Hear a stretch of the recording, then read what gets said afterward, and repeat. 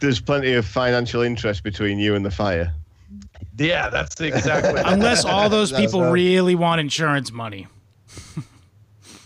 Yeah, well, it's That's not New true, and, and Maybe in New York that'd be scary, but yeah, it could it could be the case. It could very well be the case with, uh, you know, COVID right now. All kinds of businesses and stuff are trying to get out of their commercial leases. So yeah, yeah, it could be it could be arson, couldn't it? I guess.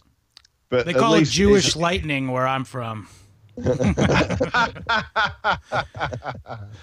Yeah, that was yeah, my I'm sure there's a lot of a lot of people hoping to get struck by that. Yeah, right now yeah, get yeah, out of some bills that don't want to pay.